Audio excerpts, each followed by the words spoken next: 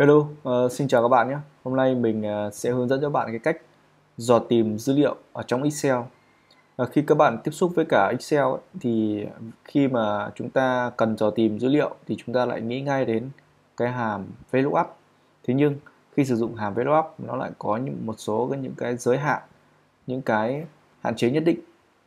Thế nên uh, để mà dò tìm uh, dữ liệu ở trong uh, Excel thì các bạn chỉ cần sử dụng cái hàm index kết hợp với hàm max là bạn có thể dò tìm mọi dữ liệu ở trong Excel rồi. Đấy, thì à, chúng ta sẽ đi vào từng hàm. Một thứ nhất là hàm index và thứ hai là hàm max.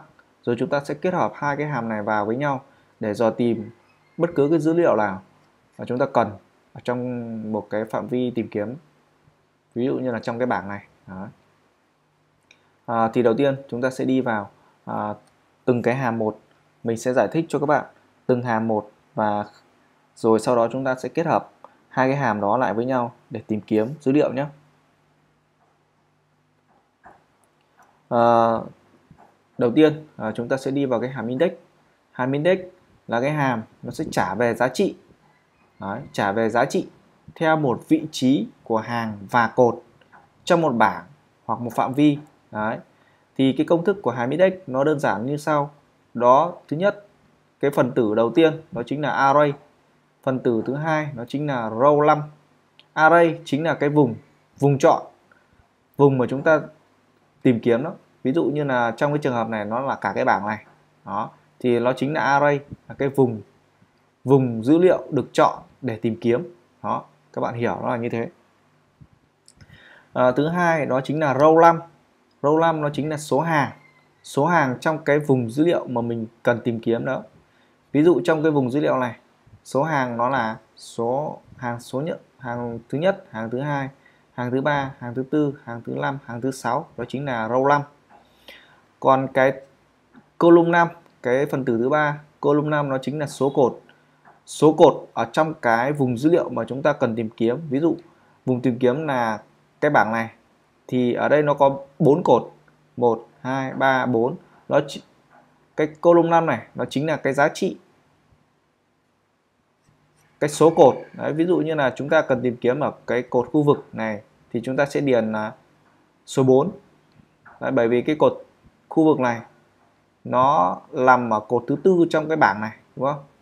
Đấy, cột họ tên là thứ nhất này số điện thoại là hai này email là 3 và khu vực là 4 thì khi mà sử dụng công thức index ấy, thì chúng ta sẽ điền cái phần tử column 5 này nó là vị trí số 4 khi mà mình muốn tìm kiếm khu vực cho một cái giá trị nào đó. Đấy, các bạn hình dung nhé.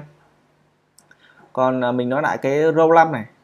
Row 5 này nó chính là cái số hàng ở trong cái à, vùng dữ liệu mà mình cần tìm kiếm. Ví dụ vùng dữ liệu là cái cái vùng này mình muốn tìm kiếm cái dữ liệu ở hàng số số 4 Đấy, hàng số 4 thì chúng ta phải điền số 4 vào vào cái vị trí số 2 này. Đó. Thì tổng kết lại nó là cái gì? Array là vùng dữ liệu mà mình cần tìm kiếm. Đây nó là cái này. À, số hàng trong cái vùng dữ liệu đó. Đấy. cái giá trị hàng ở trong à, cái số hàng ở trong cái vùng dữ liệu đó. Ví dụ như là mình muốn tìm kiếm ở hàng số 4 đây đúng không? 1 2 3 4 này à, cái giá trị thứ ba đó là column 5 column 5 nó chính là cái số cột. Đấy, đây có số hàng rồi nhá. Vị trí số 2 à, à, cái phần tử thứ hai là giá trị hàng rồi. Phần tử thứ ba là giá trị cột nó chính là column 5 ấy. Đấy, thì chúng ta sẽ tìm kiếm được cái giao điểm. Giao điểm của hàng và cột nó chính là giá trị chúng ta cần tìm kiếm. Đấy, các bạn hình dung nhá. Đấy, ví dụ như là chúng ta tìm kiếm ở cái hàng số hàng số 4 này. Lê Nhật Linh này hàng số 4 này. 1 2 3 4 hàng số 4 nhé hàng số 4 và cột số cột số 3 cột số 3 chính là cái cột email này. Chúng ta sẽ tìm kiếm được cái giao của cái hàng số 4 và cột số 3 này. Đó chính là cái địa chỉ link a gmail.com này. Đó các bạn nhé. Đấy, cái hàm index nó là như vậy. Hàm index nó là như vậy. À, thì mình sẽ demo luôn cho các bạn xem này bằng index này đúng không? Cái vùng dữ liệu mà chúng ta cần tìm kiếm đây là vùng dữ liệu chúng ta chọn cả cái bảng này ok.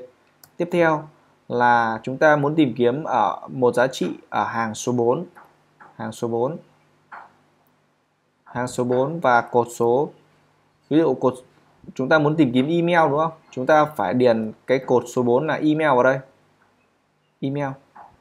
À, email ở trong cái bảng này nó là cột số 3 đó thì lúc này chúng ta sẽ tìm kiếm là được là tìm đến tìm kiếm được cái email dựa vào dựa vào cái họ tên này dựa vào họ tên.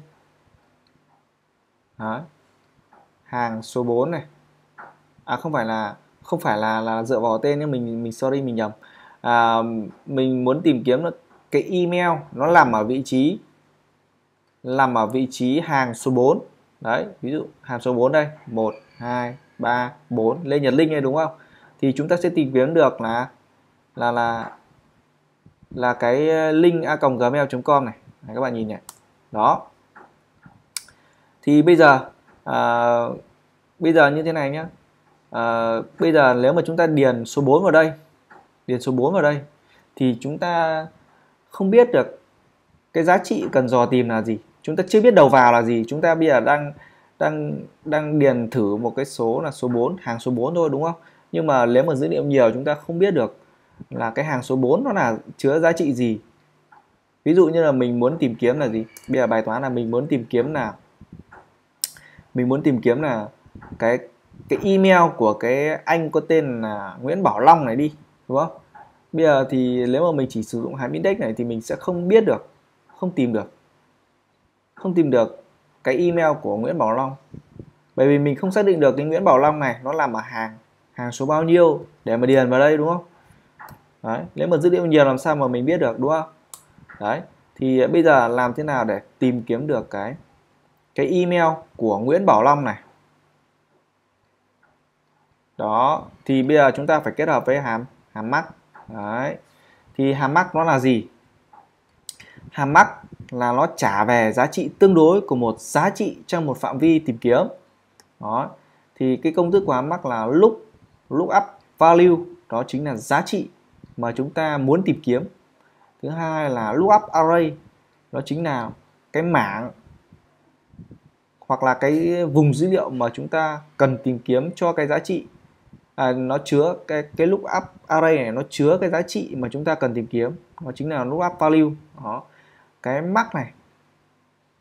Cái mắc mắc mắc thai này nó chính là cái ờ, cái kiểu tìm kiếm là tuyệt đối hay là tương đối.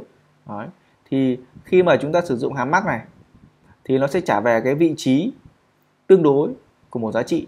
Đấy. thì bây giờ chúng ta sẽ đi vào cái hàm mắc này nhé.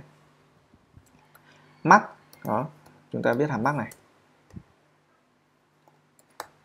Mắc này nhé thì uh, hàm mắc nó là gì? Look look up value nó chính là cái giá trị đúng không? Cái giá trị cần tìm kiếm. Đó bây giờ mình muốn uh, tìm kiếm cái giá trị là cái ông uh, cái người có tên là Nguyễn Bảo Long. Nó nằm ở hàng số bao nhiêu trong cái cái cột họ tên này đúng không? Bây giờ chúng ta muốn tìm kiếm là cái người cái tên là Nguyễn Bảo Long. Đó chúng ta có thể điền à như này chúng ta có thể điền cứng là gì? Nguyễn Bảo Long như này. Nguyễn Bảo Long đó. Tiếp theo là gì? Chúng ta tí nữa mình sẽ nói thêm là ờ, à, ở đây mình đang à, điền ờ, trực tiếp cái giá trị vào vào vào cái này nhé để cho các bạn ờ, dễ hiểu. À, tiếp theo là gì? Tiếp theo là cái cột chứa cái giá trị họ tên này. Đấy. thì cái vùng dữ liệu chứa cái cái giá trị Nguyễn Bảo Long nó chính là cái cột họ tên này đúng không? Thì mình sẽ điền là cột A từ A1 đến từ A2 đúng không? Từ A2 này. Đây. mình làm lại nhé. Từ A2 này đến A7 đúng không? Tiếp theo, cái giá trị phần tử thứ ba là giá trị kiểu tìm kiếm là tuyệt đối. Mình sẽ tìm kiếm là không, thường là tìm kiếm là tuyệt đối, mình sẽ để là không nhé. Thì đây, cái hàm mắc này, nó sẽ tìm được, đấy, nó sẽ tìm được cái vị trí mà cái ông Nguyễn Bảo Long này, cái người cái giá trị Nguyễn Bảo Lăng này nằm ở trong cái cột A này, từ A2 đến A7 này. Nó nằm ở vị trí hàng số 5 đó, các bạn đếm nhé Nguyễn Bảo Long đúng không? Nguyễn Bảo Long này 1 2 3 4 5 đấy, vậy là đầu vào của chúng ta là giá trị Nguyễn Bảo Long chúng ta đã tìm được cái gì? Chúng ta đã tìm được cái vị trí hàng của nó rồi. Thì bây giờ, thì các bạn à, đã hình dung được à, việc kết hợp giữa hàm mắc và hàm index chưa? Đấy à, đầu vào của chúng ta là cái giá trị Nguyễn Bảo Long này. Đầu ra là chúng ta à, muốn tìm kiếm bất cứ một cái cái giá trị nào nó liên quan đến cái giá trị đầu vào đấy. Giả sử như là chúng ta muốn tìm kiếm là cái số điện thoại này email này hoặc khu vực của cái cái người có tên là Nguyễn Bảo Long này. Để mà làm được điều đó thì chúng ta phải kết hợp hàm max với cả hàm index. Đó bây giờ làm thế nào để kết hợp được hàm max và hàm index đúng không? Thì uh, cái hàm index này mình đã nói rồi. Uh, cái phần tử đầu tiên nó chính là cái gì? Cái vùng dữ liệu mà chúng ta muốn tìm kiếm dữ liệu. Cái thứ hai đó là cái số hàng. Đấy. cái thứ ba là số cột. Thì uh, cái hàm mắc này đấy lại chuyển sang cái hàm mắc. Cái hàm mắc này nó sẽ trả về trả về cái số hàng đúng không? Trả về cái số hàng mà cái giá trị mà mình muốn tìm kiếm nó nằm ở đâu? Thì bây giờ để kết hợp được bây giờ chúng ta muốn tìm kiếm là uh, cái email này nhá. Chúng ta bây giờ muốn tìm kiếm cái email của cái người Nguyễn Bảo Long này thì chúng ta kết hợp như thế nào? À, đầu tiên là chúng ta sẽ làm bằng index đúng không? Index này. Cái vùng dữ liệu này đây là vùng dữ liệu này. Tiếp theo là số hàng. Số hàng bây giờ làm thế nào để xác định được số hàng của ông Nguyễn Bảo Long? Trong cái cái cột uh, họ tên này. Đấy thì chúng ta vừa làm đấy đó chính là hàm mắc. Hàm mắc. Đấy đúng không? Đó chính là cái hàm mắc đấy. À, giá trị cần tìm kiếm là gì? Nguyễn Bảo Long. Nguyễn Bảo Long. Đó. À, chúng ta đang làm cái công thức cho cái hàm mắc này nhé Nguyễn Bảo Long này tiếp theo là gì? À, cái cột họ tên này. À, cái vùng dữ liệu mà chứa cái giá trị mà mình muốn tìm kiếm này nó chính là cái cột họ tên đúng không? Thì à, vùng dữ liệu nó à, từ A A2 đến A7 đi đó. Tìm kiếm là tuyệt đối đóng ngoặc lại xong cái hàm mắc. Cái hàm mắc lúc này nó sẽ trả về cái vị trí hàng mà cái người có tên là Nguyễn Bảo Long làm ở làm ở cái cột cột họ tên này. Đấy tiếp theo là chúng ta sẽ điền cái giá trị uh, cái giá trị uh, thứ ba của cái hàm index đúng không? Bây giờ cái giá trị thứ ba thì chúng ta điền là số bao nhiêu thì phụ thuộc vào cái mục đích chúng ta cần. Ví dụ chúng ta muốn tìm kiếm là cái khu vực của cái ông Nguyễn Bảo Long này nó làm nó là bao nhiêu nó là nó, nó là khu vực gì? Đấy, thì chúng ta sẽ điền vào đây à, ví dụ là khu vực đúng không? Thì chúng ta phải điền gì? Cột. Cột. Mà cái à, cột thứ bao nhiêu? Cái khu vực này nó nằm ở nằm ở cột thứ bao nhiêu trong cái bảng này? Ví dụ là trong cái bảng này thì nó nằm ở cột số số mấy đấy 1 2 3 4 đúng không? Nó là 4 đóng bằng lại xong hàm index. Chúng ta enter thì chúng ta sẽ tìm được cái gì? Giá trị của nó lúc này sẽ là là Quảng Linh nhé các bạn nhé. Đây cái hàm mắc này nó sẽ tìm giá trị Nguyễn Bảo Long. Nằm ở cột thứ à làm từ ở ờ, hàng số bao nhiêu của cột họ tên. Ví dụ như cái hàm mắc này, nó sẽ tìm được cái cái cái giá trị là số 5 ở đây. Số 5 ở đây nhé hàng số 5 và cột số 4 hàng số 5 và cột số 4 thì nó sẽ tìm được giá trị là Quảng Linh. Các bạn nhìn này. Đó. Bây giờ nhé bây giờ mình sẽ xóa cái này đi. Xóa xóa cái hàm mắc à cái cái cái, cái hàm mắc này đi trong cái công thức này nhé mình xóa đi. Mình điền số 5 vào đây thì nó cũng sẽ ra là Quảng Linh đó. Đấy các bạn thấy chưa? Khi mà kết hợp vào chúng ta sẽ tìm được những cái giá trị mà chúng ta cần. Đó. Bây giờ chúng ta không muốn tìm không muốn tìm là Nguyễn Bảo Long nữa mà chúng ta muốn tìm là Hoàng Thị Thúy. Hoàng Thị Thúy. Đấy. Hoàng Thị Thúy lúc này à, cái hàm mắc này nó sẽ trả về giá trị là bao nhiêu nhỉ? Nó sẽ trả về cái giá trị là hàng số số 3 hàng số 3 và cột này là cột số 4 tức là khu vực đúng không? Hàng số 3 này cột số 4 thì giá trị lúc này nó sẽ là vĩnh phúc. Đấy các bạn thấy chưa? Khi mà chúng ta kết hợp hàm mắc và hàm index chúng ta sẽ tìm được bất cứ cái giá trị nào mà chúng ta cần. Rồi chúng ta có ờ, tiếp tục uh, uh, tìm kiếm. À, bây giờ chúng ta sẽ tìm kiếm là uh, cái, cái email này. Nó thuộc uh, số điện thoại nào Đấy, các bạn nhé. À, đây là cột email này. Chúng ta sẽ tìm kiếm dựa vào email để tìm kiếm ra được số điện thoại. Đó, các bạn nhìn nhá. Chúng ta sẽ làm như sau. Ở cái Hoàng Thị Thúy này đúng không?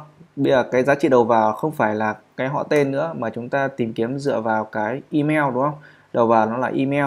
Bây giờ Thúy chúng ta sẽ tìm là email thúy gmail com này. Ở trong cái cột email này cái email này nó nằm ở trong cột cột cột C đúng không? Từ C từ C2 đến C7 đi. C7 đúng không? Cái vùng dữ liệu là từ C2 đến C7 nó sẽ chứa cái cái um, cái email này chứa cái giá trị email này. Bây giờ chúng ta sẽ tìm được cái ờ, số hàng mà cái email nó nằm ở trong cái bảng này rồi đúng không? Thì uh, bây giờ chúng ta muốn tìm là cái số điện thoại của cái email này đúng không? Thì uh, cái số điện thoại nó nằm ở cột số bao nhiêu trong cái bảng này? Nó nằm ở cái cột số 2 Đấy, cột B này. Thì chúng ta điền đây là 2 đúng không? Thì chúng ta sẽ tìm được cái số điện thoại. Tìm được cái số điện thoại dựa vào cái email. Đó, dựa vào email à, thúy gmail.com này. Nó sẽ chúng ta sẽ tìm được cái gì? Cái vị trí hàng vị trí hàng của cái ờ, email này nó nằm ở trong cái bảng này. Thì uh, dựa vào cái công thức hàm mắc này thì nó sẽ nằm ở cái cái hàng số uh, hàng số mấy đây? Hàng số 3 đúng không? Hàng số 3 này. Đấy thì uh, chúng ta enter chúng ta sẽ tìm được cái số điện thoại là có đuôi là 2385 nhé. Các bạn nhìn này. Đó các bạn thấy chưa? Sẽ tìm được cái à, đuôi là 2385 đấy đây chính là cái ưu điểm hơn so với hàm VLOOKUP nếu như hàm VLOOKUP thì chúng ta sẽ không không thể tìm kiếm được. Đó chúng ta sẽ không thể tìm kiếm được. Thế nhưng với hàm index và hàm max thì chúng ta có thể tìm kiếm uh, có thể tìm kiếm được. Các bạn cứ thử uh, với hàm VLOOKUP nhé. Sẽ không tìm kiếm được đâu. Đó chính là ưu điểm của hàm index và hàm max kết hợp để dò tìm dữ liệu. Đó.